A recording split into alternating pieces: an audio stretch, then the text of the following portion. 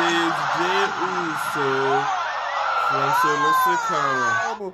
And Sheamus with the damn kick straight to the mouth. Oh, he just took out Sheamus. I know where Mysterio is in. Where is in?